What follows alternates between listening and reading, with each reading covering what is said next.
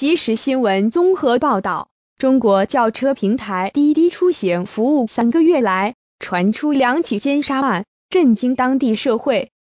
滴滴出行日前悄悄恢复深夜时段轿车服务，称司机每次上路跑车前都要先通过安全知识考核，全对才能接单，却被上线司机打脸题目过于简单，两岁小孩都能过。综合中媒报道。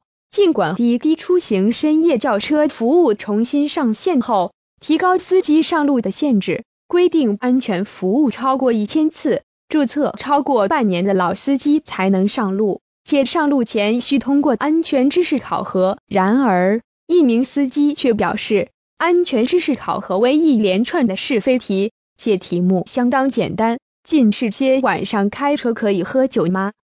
滴滴车主端有一键报警。的功能吗？